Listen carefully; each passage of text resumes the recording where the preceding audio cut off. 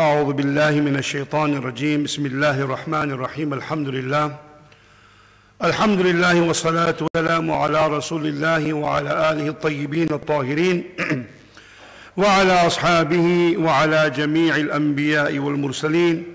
قال الله تعالى في القرآن المجيد والفرقان الحميد بعد أعوذ بالله من الشيطان الرجيم.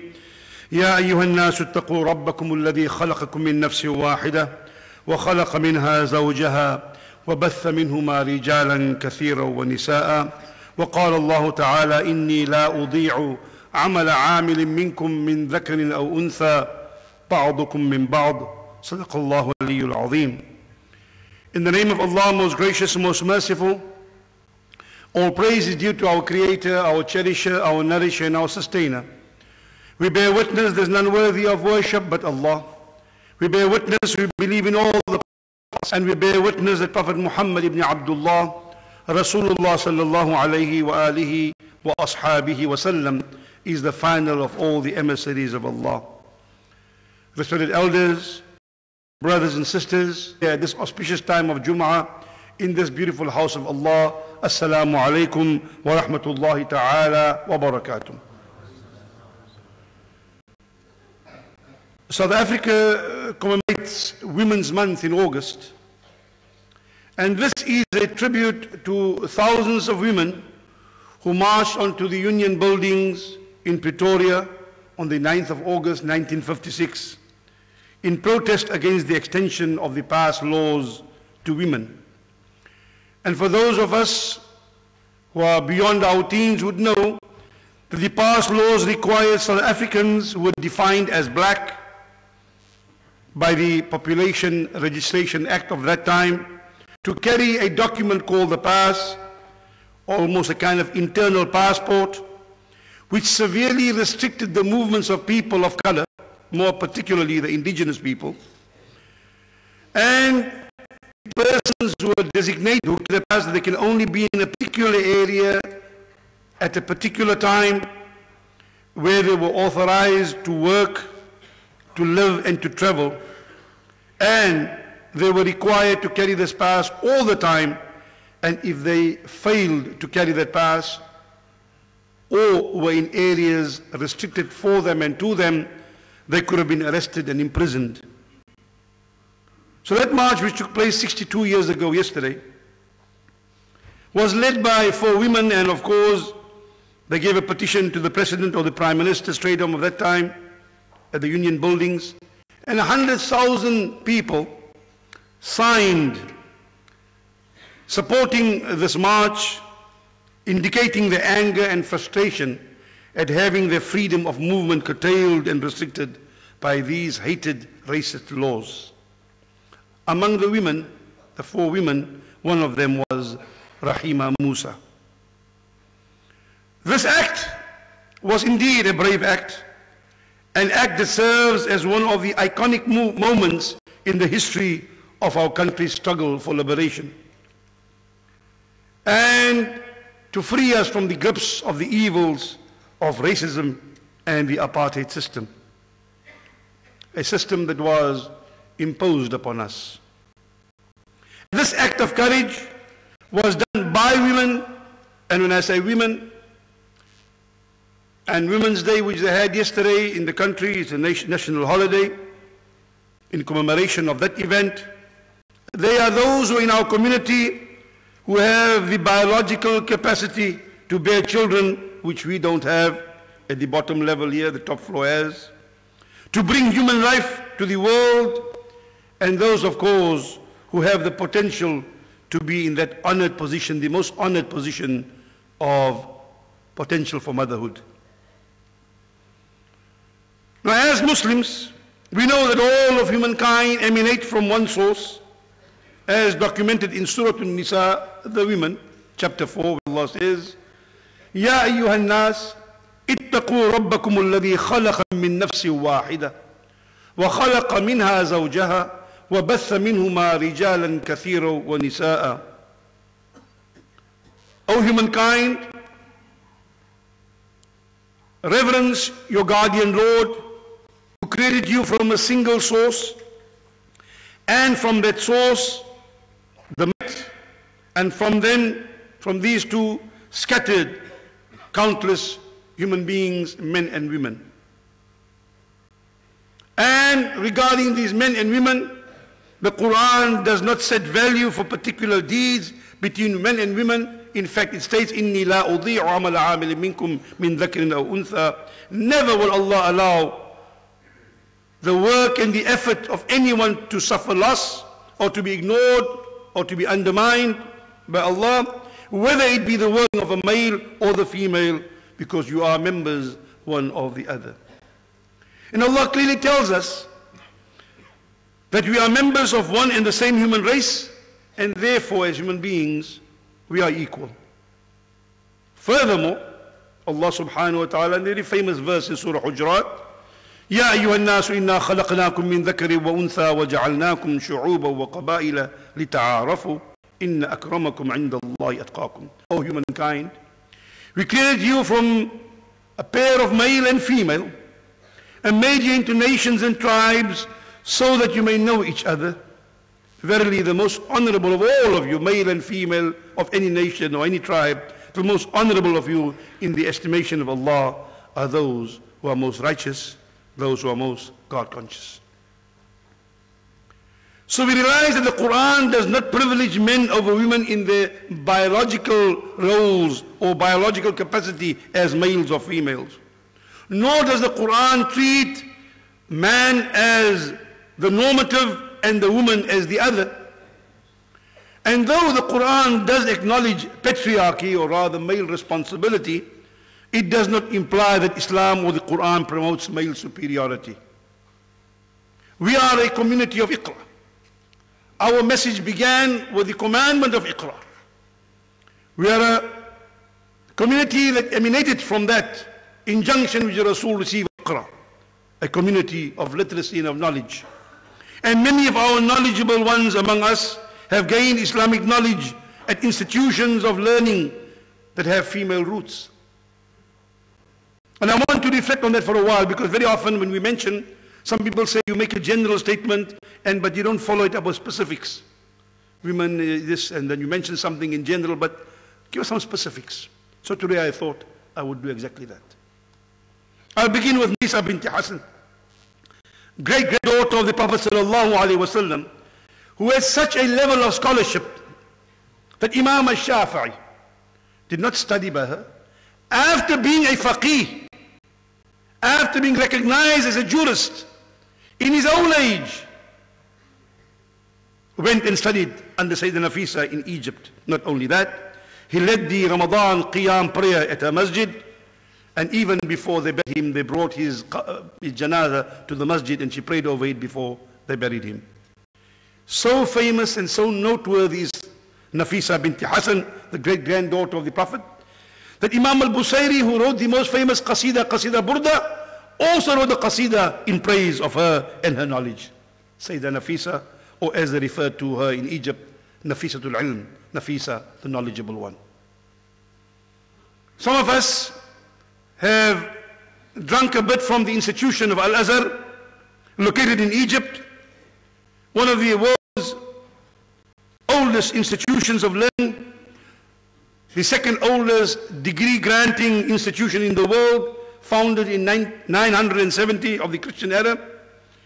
And it was named after Fatima Zahra, the daughter of the Prophet. But the oldest university is not Al-Azhar, is the University of Qarawin in Fez in Morocco. And dates to 859 and is recognized by the Guinness Book of Records as the oldest degree granting university in the world.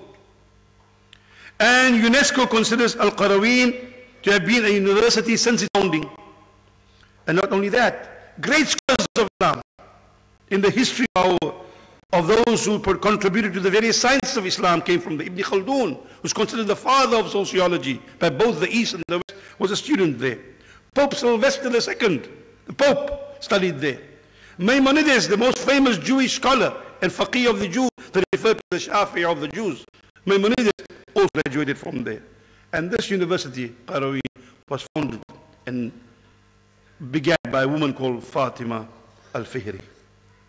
In our own city in Cape Town, a remarkable woman made land available for the building of the first mosque in South Africa. The Awal Masjid was built in 1794 in Dorp Street. And it stands today a Awal Masjid in the country, and that was donated by Saartjie Kaap. Beyond the institutions of learning, if we glance at the illustrious life of our beloved Prophet Muhammad sallallahu alaihi wasallam, we note the significant and cherished roles that women played at various stages of his life. When Amina binti Wahab, his mother, gave birth to him, to her only child, Rasulullah sallallahu alaihi wasallam, it was Barakah who was there as the midwife to receive him in her hands. She was there when he was born. She was there when Fatima was born. She was there when Hassan and Hussein was born. And she was there when the Prophet passed away. She, of all the companions, was with the Prophet literally from birth to death. No other companion, including Sayyidina Ali, Sayyidina Abu Bakr, all of them, may Allah be pleased with all of them. None of them, even Sayyidina Fatima, has a distinction.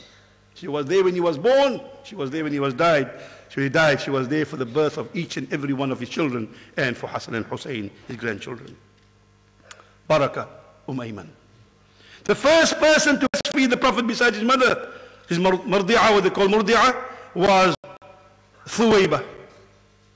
He was nursed, nurtured and nursed in his young age in the desert among the tribe of the Banu Sa'd and the lady was Halima bint Abu Dhu'ayb or Halima Sa'adiyya or Daya Halima as she's known.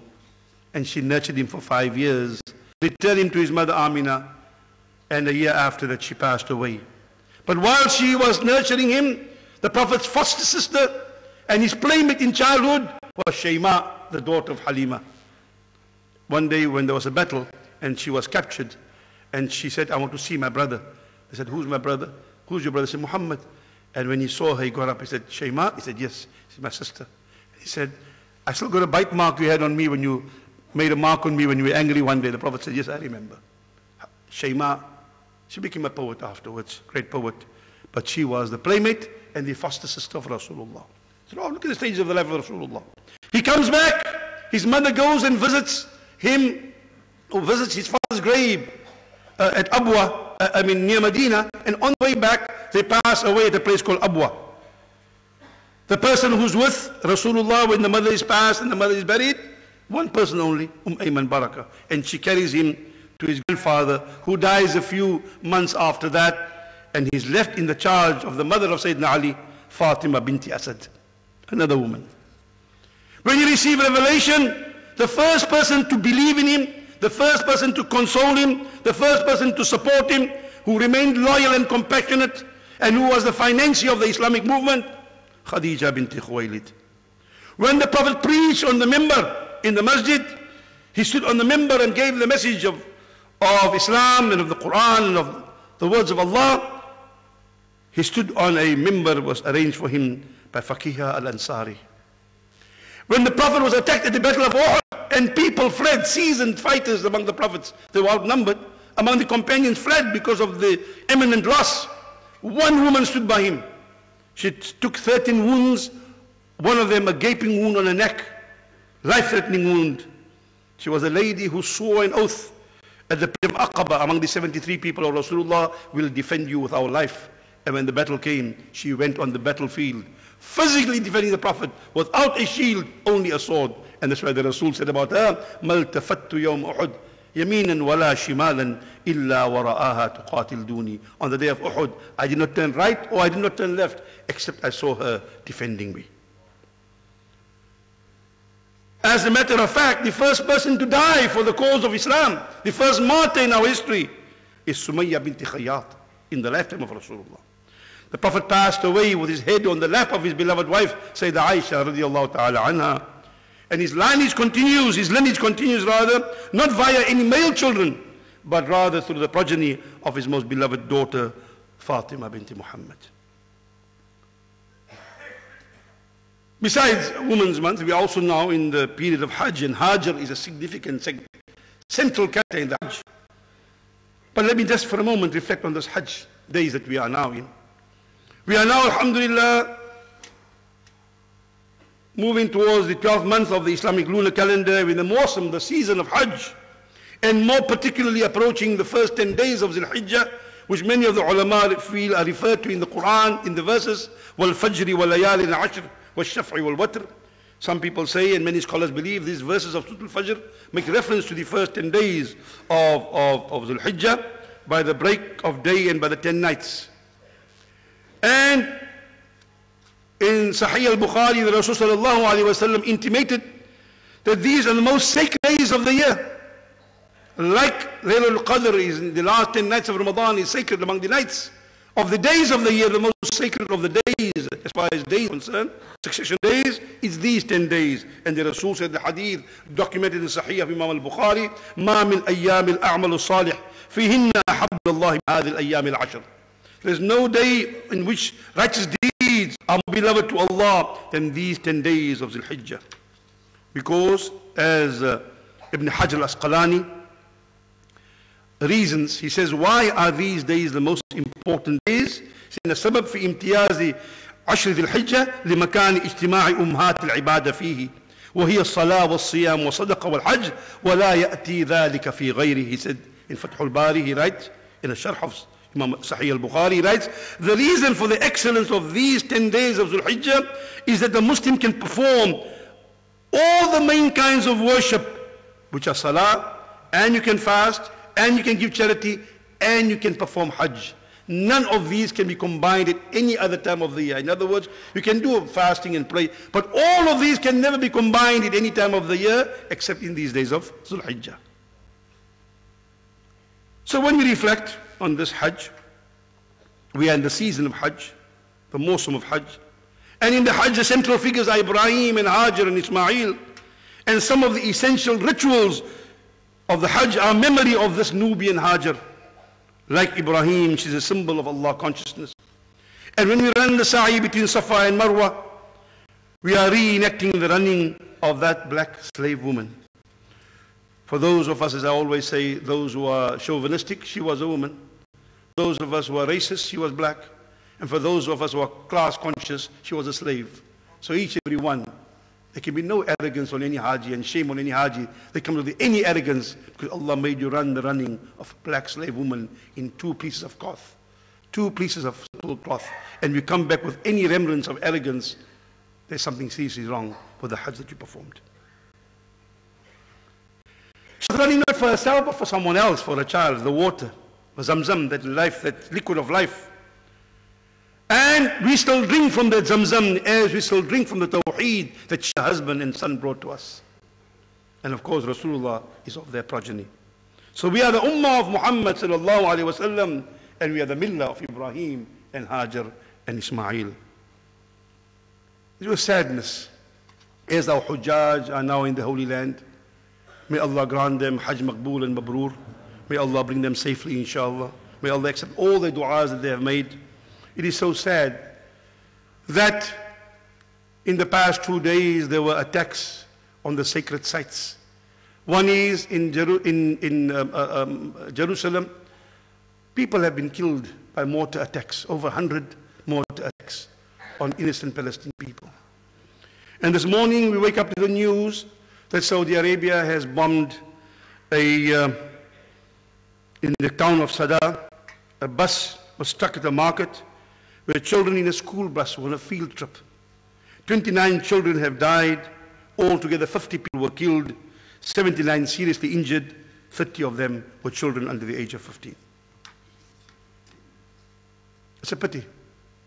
In the land of the Haram, the people who are in charge of the Haram and charge of the other Haram, and of all the harams, whether it be in Jerusalem or in Mecca and Medina, are not people who stand up for the principles and values which Hajar and Ibrahim and Ismail and these great ones stood for.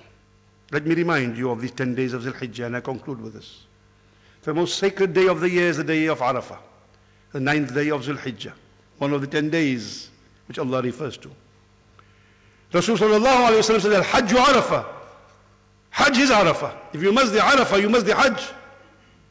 It was 1429 years ago this year that our beloved Prophet Muhammad sallallahu alaihi wasallam summarized the essential message of his mission in his historic Khutbatul Wida or the final sermon, which is delivered at Mount Arafah in the Urana Valley of Mecca on the 9th of Zulhijjah, the 10th year of Hijri.